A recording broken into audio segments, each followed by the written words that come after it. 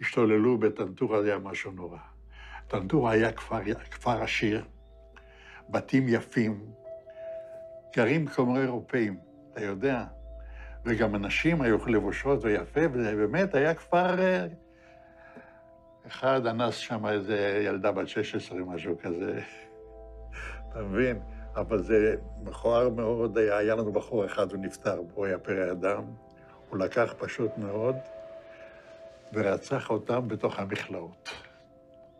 בתוך המכלאות, הם היו במכלאות, אתה יודע, חוטי ברזל כאלה, עגולים כאלה, אספו כל הגברים.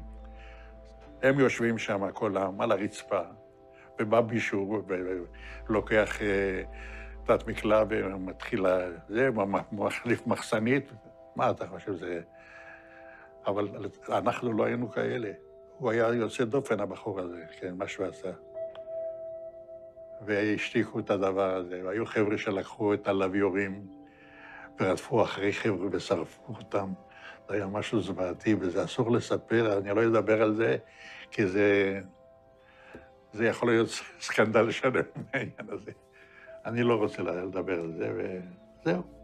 אבל זה היה, מה לעשות, זה היה.